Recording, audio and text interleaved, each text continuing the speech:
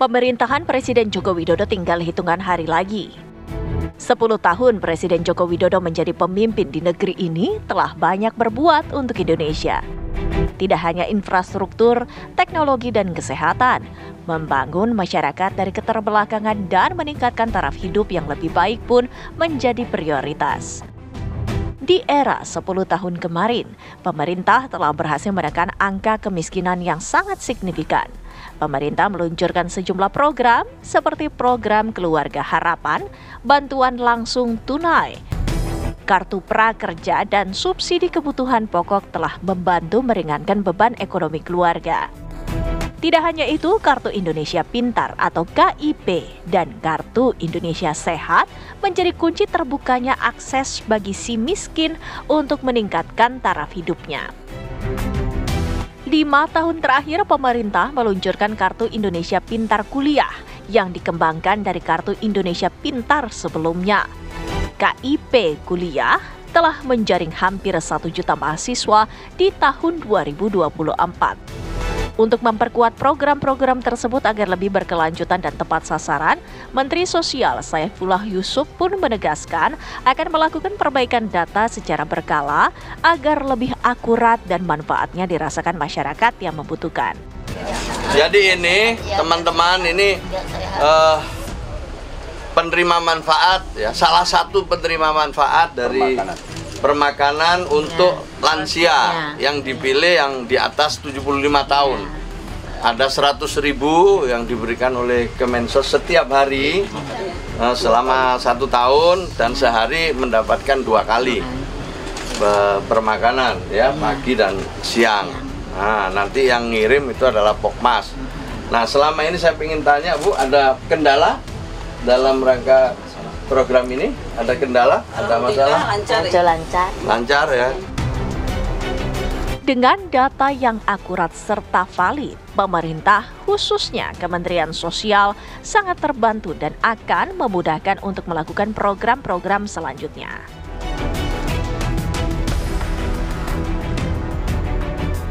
Assalamualaikum warahmatullahi wabarakatuh. Anda menyaksikan Indonesia Terkini. Pemirsa kali ini bersama saya Tiara Harahap dan dalam kesempatan kali ini kami akan mengajak Anda untuk berbincang langsung dengan Menteri Sosial Republik Indonesia Saifullah Yusuf atau yang akrab disapa dengan Gus Ipul berkaitan dengan seperti apa kepemimpinan selama 10 tahun terakhir di bawah kepemimpinan Republik Indonesia Presiden Republik Indonesia Joko Widodo dan juga langkah ke depannya apa yang akan dilakukan pemerintah untuk menangani isu-isu sosial.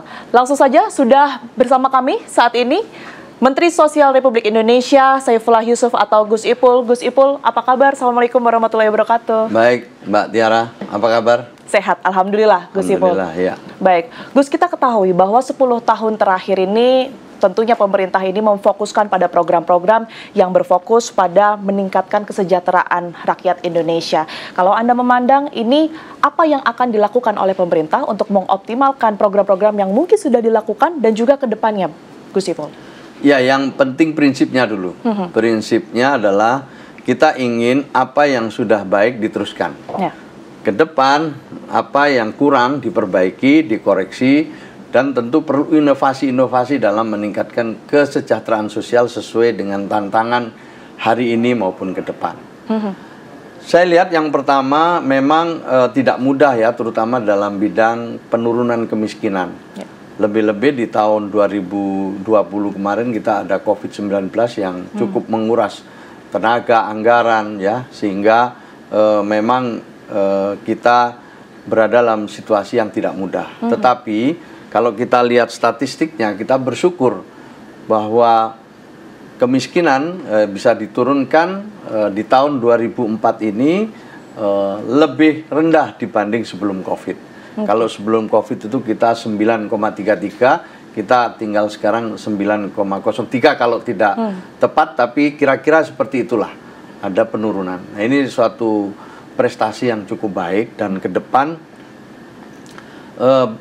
kita harus berusaha uh, bagaimana penurunan kemiskinan ini lebih tajam dari sebelumnya karena situasinya juga sudah lebih kondusif. Mhm, Memang tantangan-tantangannya banyak, di antaranya sekarang sedang rame isu penurunan uh, kelas menengah ya. yang disebut turun kasta dan lain sebagainya. Tapi uh, saya mengikuti pendapatnya Menteri Keuangan Bu Sri Mulyani cukup untuk bisa menjadi bahan perenungan kita bersama bahwa melihat situasi ini harus utuh. Hmm. Tidak hanya dilihat yang turun tapi juga harus dilihat ada kenyataan di mana kemiskinan ekstrimnya juga turun tajam dan ada juga yang miskin naik kelas. Hmm. Jadi ini ada hal-hal yang uh, perlu juga kita perhatikan secara bersama-sama kalau pemerintah sendiri melihat ini bagaimana kemudian ini meningkatkan kepercayaan masyarakat terhadap pemerintah agar mereka bisa yakin bahwa program-program tersebut ini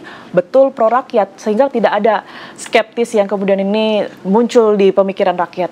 Iya, kita tahu sekarang pemerintah terus berbenah, terutama dalam tata kelola pemerintahan hmm. yang baik. Hmm. Itu terus berbenah. Sekarang lebih transparan dan juga bisa diikuti oleh banyak pihak gitu. Ya semua bisa ikut mengawasi dengan layanan-layanan dengan menggunakan teknologi. Uh -huh. Jadi kalau kita lihat ya eh, komitmen pemerintah 10 tahun di bawah kepemimpinan Pak Jokowi ada semacam uh, usaha terstruktur untuk memperbaiki tata kelola pemerintahan ini. Uh -huh. Kita lihat kebijakan-kebijakannya sekarang juga sudah apa istilahnya itu uh, i, dirasakan ya semakin transparan, semakin sulit lah orang untuk menyalahgunakan wewenang. Semakin sulit karena aturannya uh, makin banyak. Dan yang lebih penting, semua didorong untuk uh, memenuhi standar pelayanan minimal itu, mm -hmm.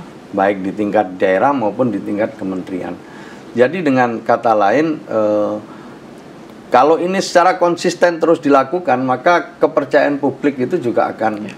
terus meningkat, ya tidak ada lagi sekarang ini mudah untuk kong kali kong mhm. main-main proyek di pemerintah. Itu udah nggak mudah lagi tidak seperti dulu gitu. Sekarang ini tidak bisa ngatur-ngatur pemenang dengan mudah tidak bisa.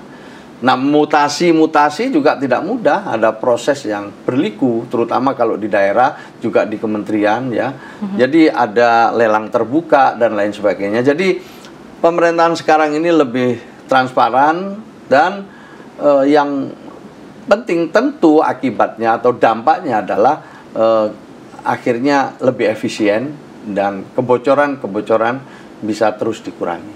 Baik, Gus Ipul, kartu Indonesia Pintar, kemudian juga kartu Indonesia Sehat, ini seakan menjadi kunci Gus untuk kemudian ini membuka peluang mereka si miskin untuk mendapatkan taraf hidup yang meningkat dibandingkan dengan sebelumnya begitu. Nah sejauh ini sebenarnya sebarannya seperti apa dan bagaimana kemudian ini pemerintah melakukan pengawasan agar program-program tersebut ini bisa tepat sasaran? Ya, pertama-tama uh, kita tahu bahwa pendidikan dan kesehatan merupakan hak dasar yang harus hmm. dipenuhi. Ini kata kunci untuk Indonesia ke depan. Ya. Pendidikanlah salah satu yang bisa kita andalkan. Hmm. Nah E, untuk bidang kesehatan yang memang terkait langsung dengan bidang tugas Kementerian Sosial, kita bekerja sama dengan Kementerian Kesehatan. Setiap tahun e, lebih dari 96 juta. -huh. orang memperoleh bantuan e, apa iuran jadi jadi PBI itu PBI. Jadi PBI ya. untuk membayar iuran ke uh, eh, BPJS kesehatan. Hmm, hmm, nah dari dari situ kita udah tahu bahwa ini adalah komitmen pemerintah untuk uh, menjadikan uh, masyarakat warga ini memperoleh jaminan kesehatan dengan menjadi peserta daripada BPJS kesehatan. Bagi yang mampu tentu membayar secara mandiri. Bagi yang tidak mampu itu dibayar oleh pemerintah, baik oleh pemerintah pusat maupun pemerintah daerah. Ada daerah-daerah itu yang masuk uh, eh, UHC, Universal hmm. Health Coverage. Jadi hmm. semua warganya sudah tercover hmm. dalam uh, asuransi, khususnya BPJS kesehatan gitu. Intinya bahwa uh, kita ingin uh, ketika warga ada yang sakit itu bisa berobat, sementara bagi yang sekolah atau memasuki usia sekolah semuanya bisa sekolah hmm. dan kalau perlu sampai ke kuliah. Baik, kita jeda terlebih dahulu, Gus Ipul. Indonesia terkini masih akan kembali hadir ke hadapan Anda pemirsa usai jeda berikut ini. Tetaplah bersama kami.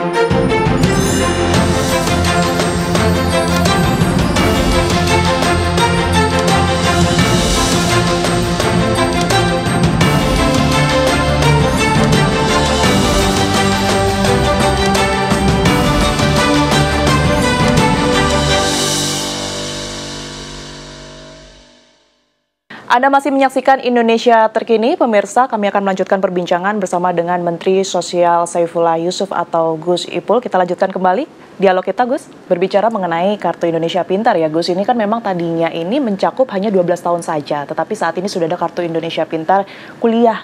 Ya. Nah, itu mungkin bisa disebutkan gambarannya saja, Gus Ipul. Uh, sasarannya seperti apa? Kemudian juga jumlah pesertanya sejauh ini seberapa banyak sih, Gus? Jadi pemerintah itu banyak membuka peluang untuk memperoleh beasiswa sampai ke tingkat kuliah ya. Nah. Ya banyak sekali. Pemerintah pusat ada bidik misi misalnya, hmm. ada LPDP ya. ya. Itu kesempatan yang sangat baik bagi mereka yang ingin uh, meneruskan atau memperoleh uh, pendidikan yang lebih tinggi. Hmm. Ya juga uh, kita tahu ada beasiswa dari pemerintah-pemerintah daerah. Banyak sekali itu. Jadi sekarang jauh uh, lebih mudah ya untuk memperoleh dukungan pembiayaan kuliah uh -huh. ya karena aksesnya uh, mudah ya cukup uh, daftar lewat online uh -huh. kemudian mengikuti ujian-ujian yang ada atau tes-tes yang ada setelah itu insya Allah kalau memang memenuhi syarat sudah bisa langsung diterima. Uh -huh. Jadi sebenarnya yang penting ini adalah kita memberikan uh, sosialisasi ya penyadaran kepada masyarakat bahwa kesempatan sekarang jauh lebih luas untuk uh, kita mendapatkan pendidikan. Banyak contoh-contoh baik ya, anak pemulung, eh, orang-orang uh, yang tidak mampu orang tuanya tapi anak-anaknya bisa sekolah tinggi bahkan juga beberapa di antaranya sekolah di luar negeri. Jadi ini ini adalah hal yang uh, cukup baik untuk bisa diketahui oleh masyarakat. Baik, Gus Ipul kan kita ketahui bahwa program pemerintah sendiri berkaitan untuk penanganan isu sosial ini kan cukup banyak.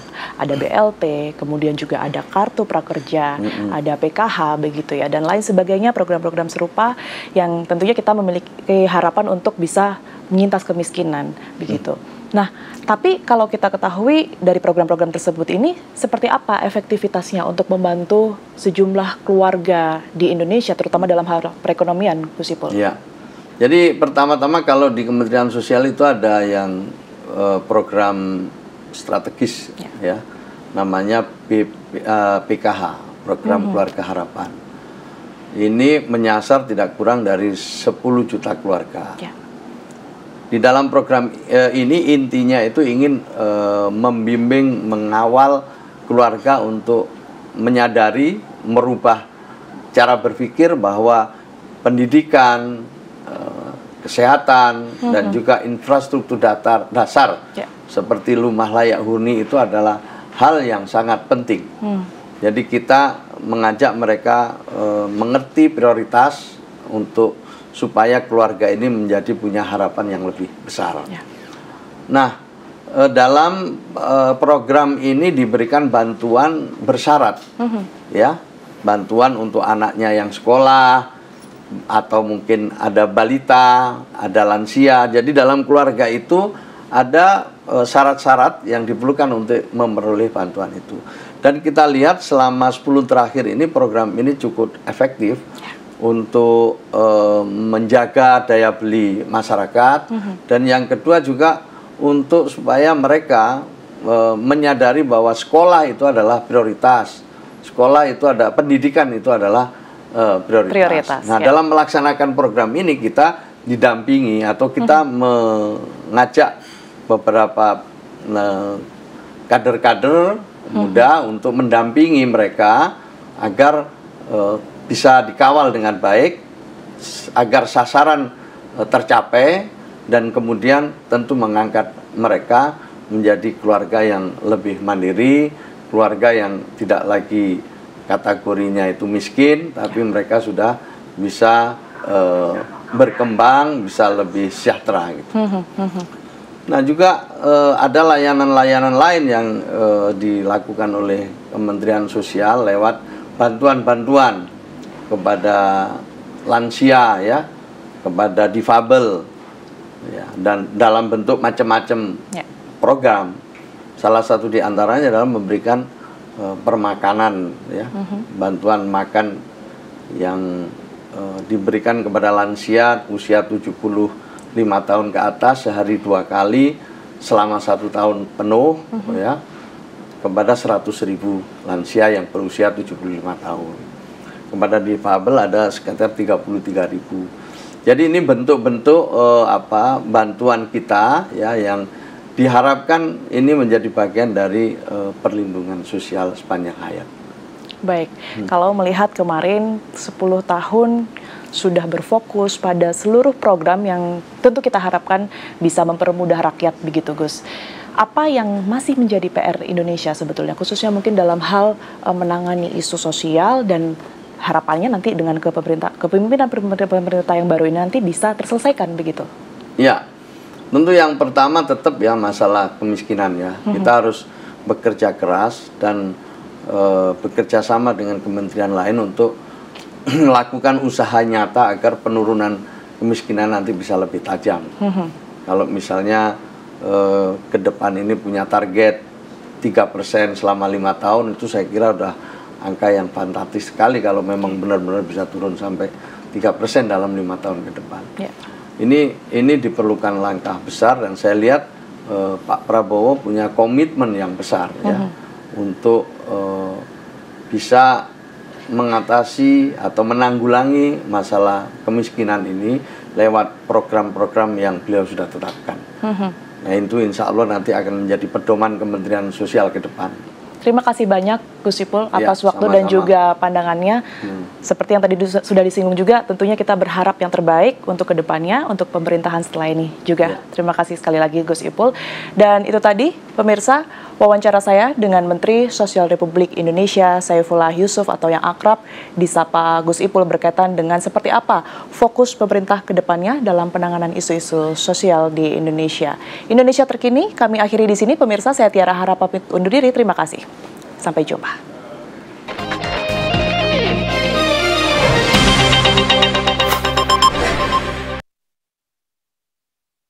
Apakah ini masih Indonesia yang sama? Sepertinya tidak. Kita berubah, Indonesia pun bertumbuh. Semua yang terkendala perlahan berubah nyaman terkendali. Berkat inovasi dan kebijakan, lahirkan baiknya perubahan. Hasilnya nyata, mudahkan kita berkelana memangkas jarak, dekatkan waktu, mudahkan temu. Terima kasih Presiden Jokowi untuk semangat 10 tahun membangun negeri.